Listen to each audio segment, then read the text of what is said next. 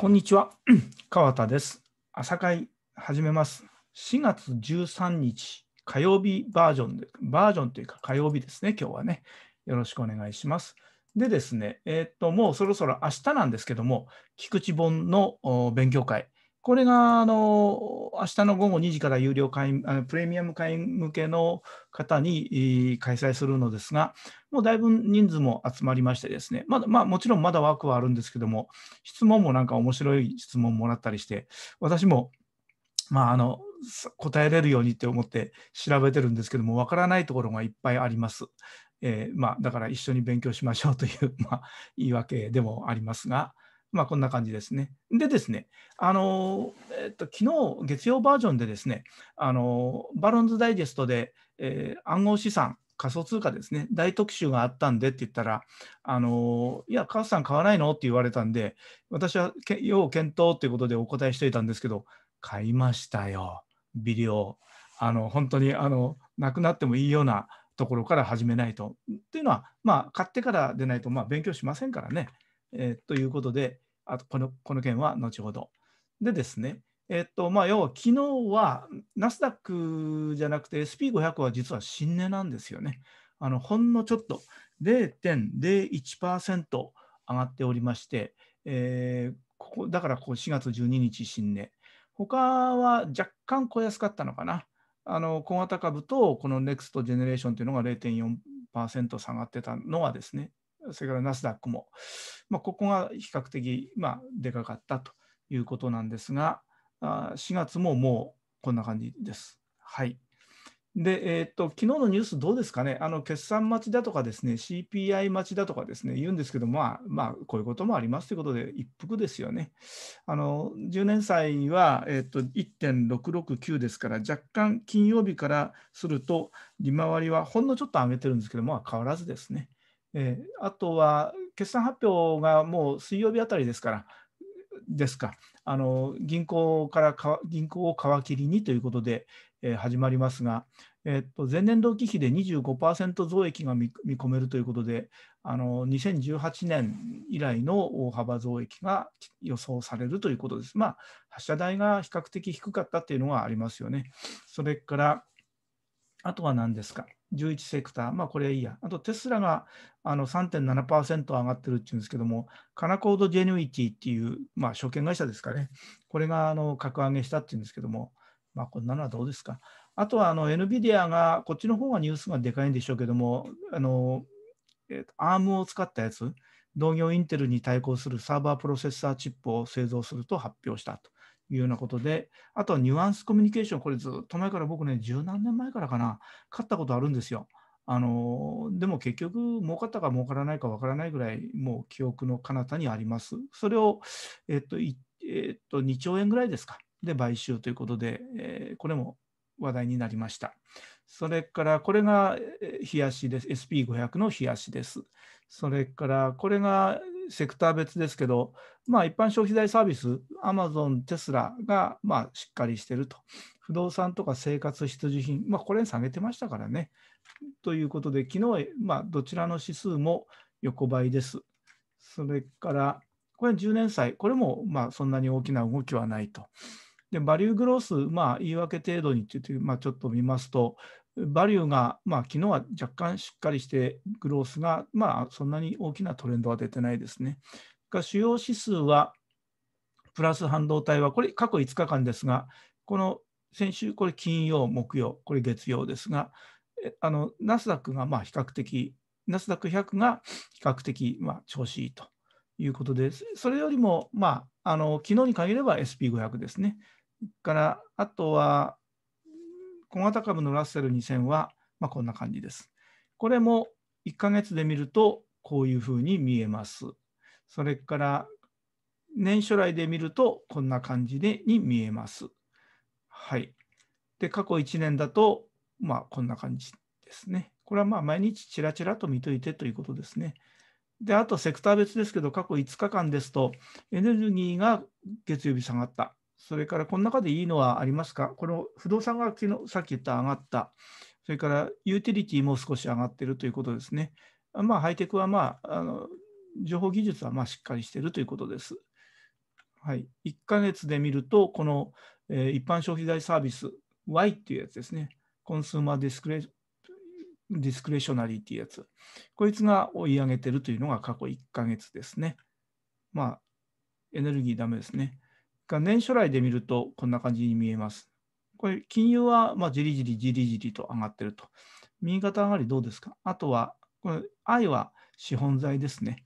それから、えー、っと、まあ、こんな、こんなとこですかね。はい。で、まあ、NVIDIA は ARM の技術をもとにした CPU 投入へ、で、インテルがさ、猛追、インテルの株価、一時5%超値下がりということです。それから、従来予想の53億ドルを上回る見通しということですか？えー、っと、これ決、決算なんですかね、それともあのガイダンスな、会社側からの発表なのか、ちょっとすいません。見てない、見てないんですけど。えー、っと、それから、えー、っと、こんな感じですね。で、これがあの、ほら、バンエックのあの半導体 ETF ですけども、SMH ってやつ、過去5日間で見ると、あの、NVIDIA がビローンとこう、あの、ズドーンと上がってますよね。で、ここに 下振れしてるのがこのインテルです。このこの色のやつ。あとはあの AMD も、この中に入れてなかったんですね、私。AMD も随分下がってますよね。ということで、えーと、あと、この、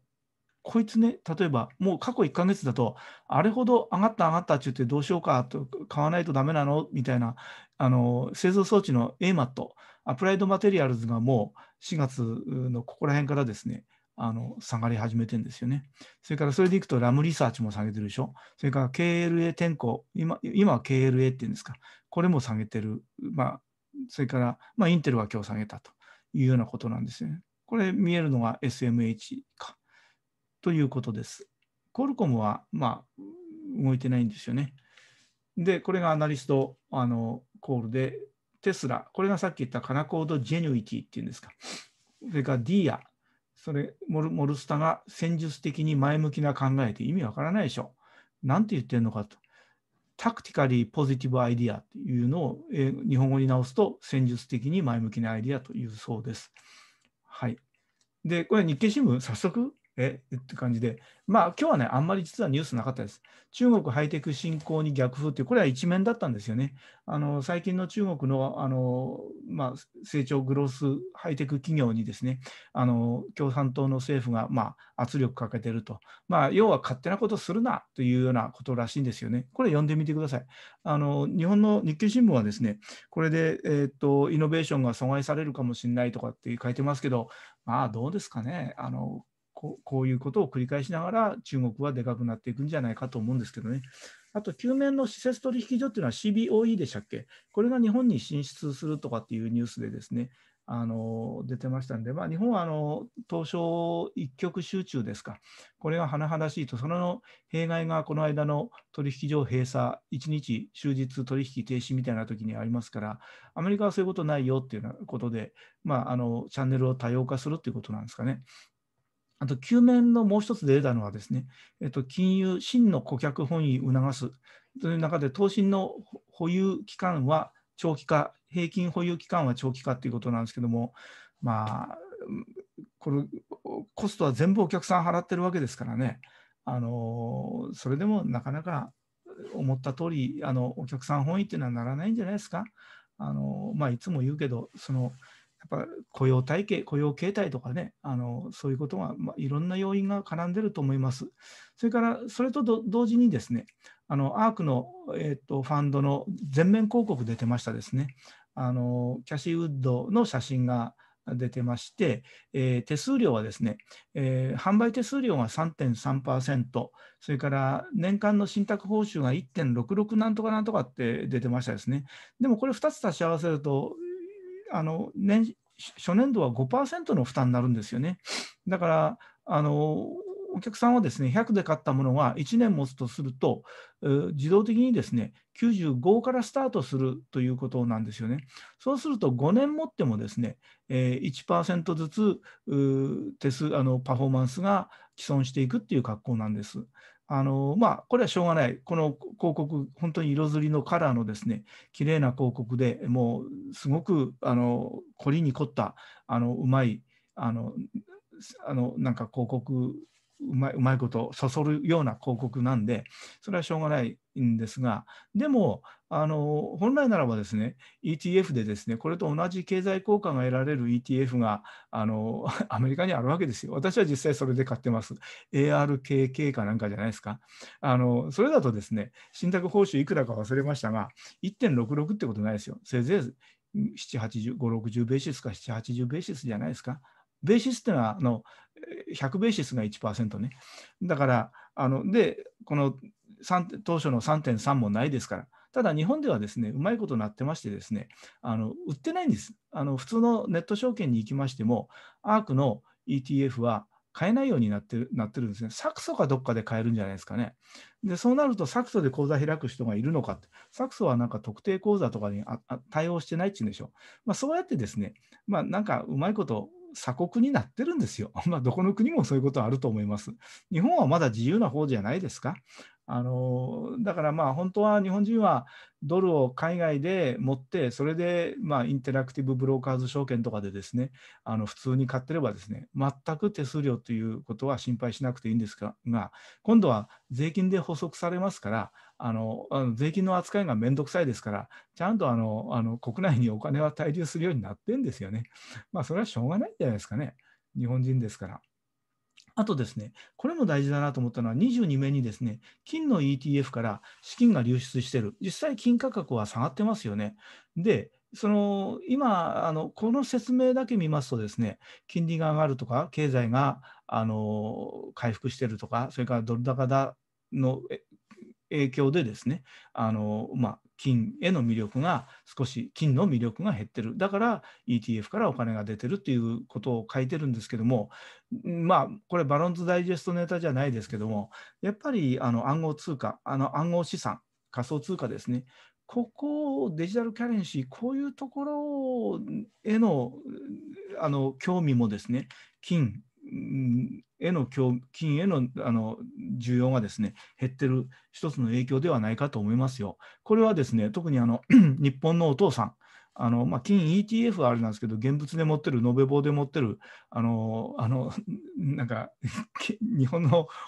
あの家だと、なんかでっかい金庫があって、そこに札束とあの金が、金塊が入ってるっていうんでしょ。あのいっぱいそんなネットに出てますよね。あれ、本当らしいですね。でっかい金庫があってっていうことで、その中に金塊がですね、あのしめしめと思ってたものがですね、まあ、あのゼロになるってことはないでしょうけども、あのその当初思ってたようなあの資産のあの保持効果っていうのがですね、あのないかもわからんですよ。その代わり、パソコン使ったデジタル通貨を 買わないとダメっていうことになると、あのわしらパソコン使えないおじさん、あの日本のおやすさん連中はですね、あの これやっぱりまた若い人にあのパソコン教えてもらわんといかんという、まあ私なんかいつも若いもんにあのパソコン教えてもらってますもんね。はい。この努力は続けないと。それがあの嫌だったらですね、若い人にお金でやってもらうということになります。だから、やっぱこのアークのファンドもですね、こうやって3.3%を払わんといかんのですよね。で1000万で33万円、1億円なら330万円ですね、あの持ってかれるわけですよね。まあ、それはあのディスカウントあるのか知りません。でも、それってそれなりにでかいですよね。それから年間1.66、これもでかいですよね。まあ、はい。で、株価はですね、昨日はダウは、えっと、これが16ベーシス下がって、まあ、アップルも下がった？上がってるの何ですか？ジョンジョンとか、あ、そうか。あの生活必需品とかしっかりしてたんですね。それから科学もこれしっかりしてた。それから何ですか ?PG もしっかりしてたということです。はい。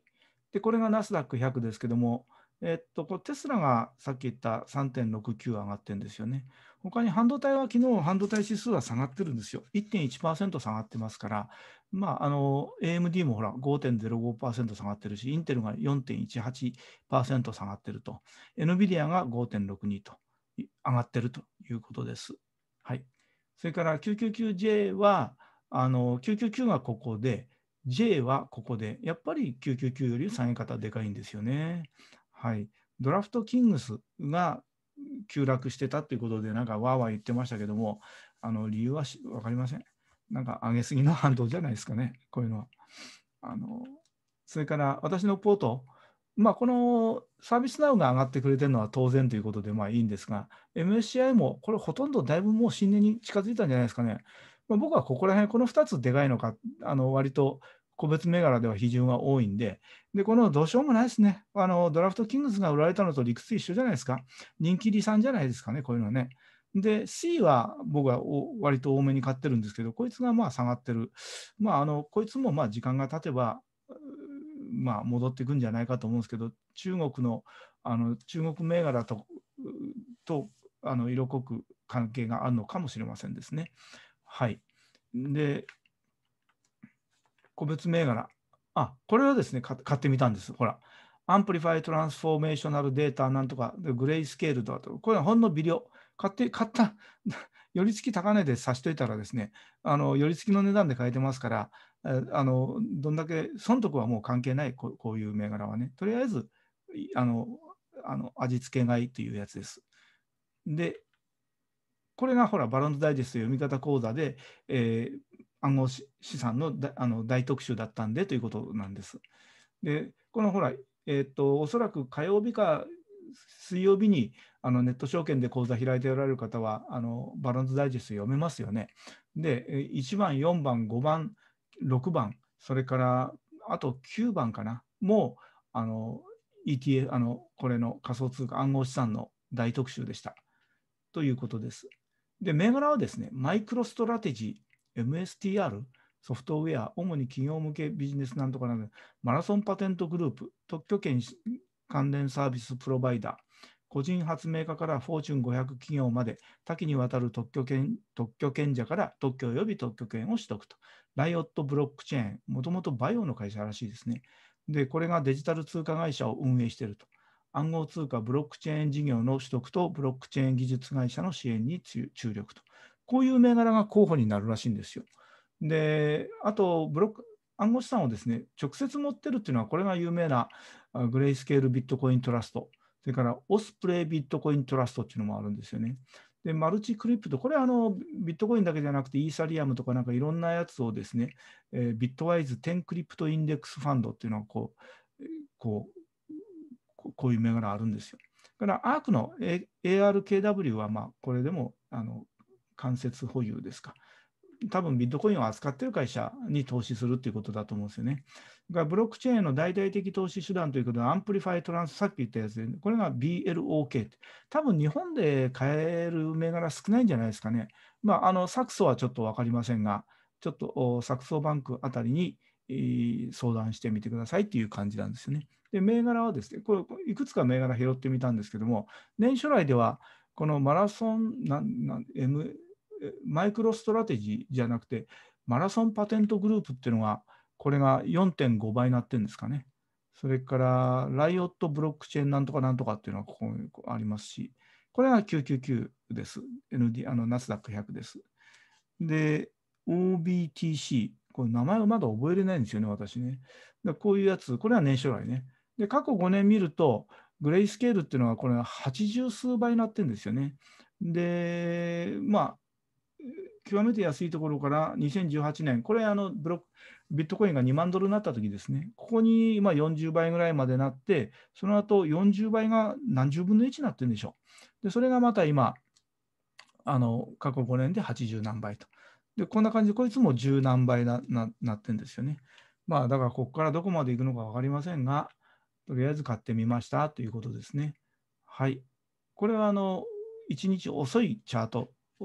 あのバロンズダイジェストでの読みどころ講座で使ったチャートですが、いずれこれでもですね、テスラとか、これ、あの MSTR、覚えれないね、MSTR、これ、マイクロストラテジー、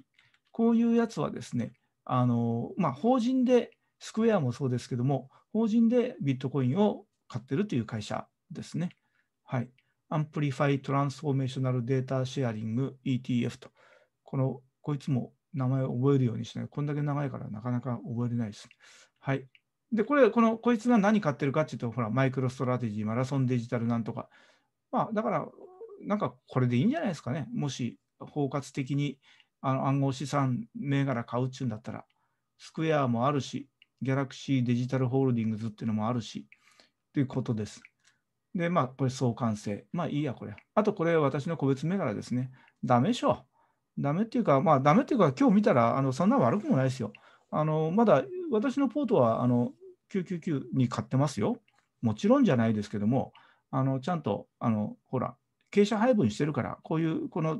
デキンボーイズはそんなにたくさん買ってないから、あの買ってるのはこの ASML とかね、それから C、それからあとは多めに買ってるのはサービスナウ、それから MSCI、こういうところを多めに買ってますんで、あのいいんですよ、私は。あの999、打倒999ですからね。はい。で、視聴者から。で、このままの、いや、あの、金曜、日月曜バージョンはですね、随分、あの、なんかアメリカとはとかですね、日米関係とかですね、そういうのを力んだもんですから、このままの独自路線ですね、あの、いや、視聴者減ってもいいわとか言って言ったら、独自路線で進めよとかね、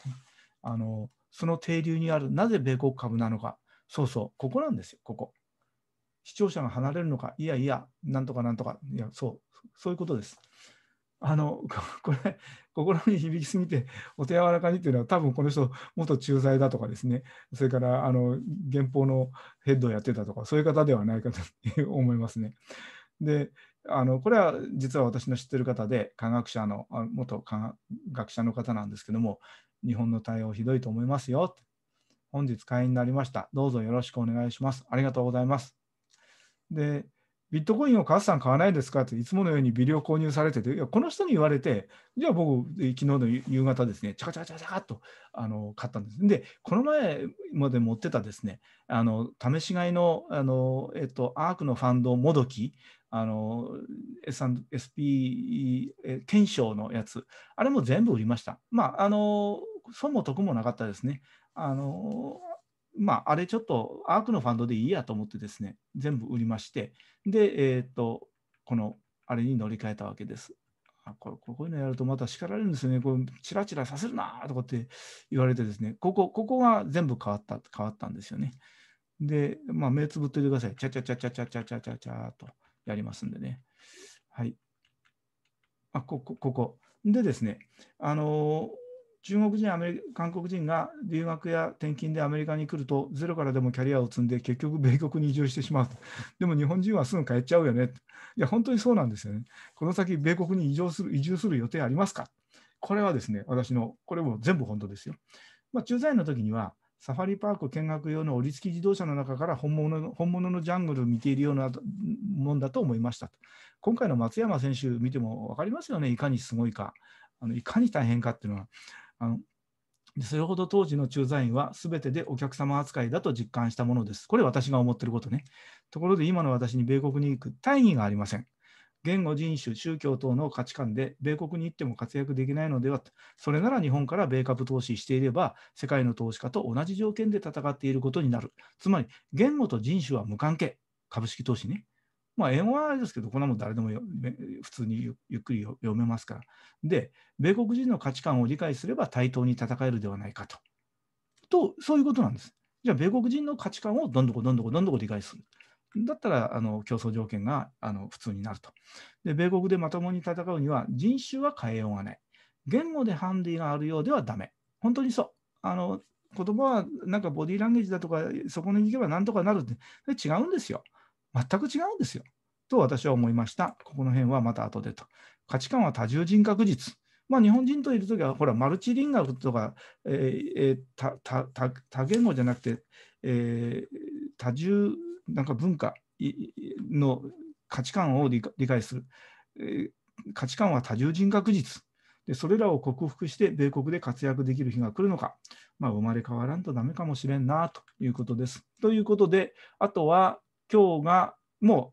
う、箱田さんと渡辺の対談は終わって、もうアップしてんじゃないかな。あと明日、あ、これこれこれ、これ。で、これが、えー、菊池本です。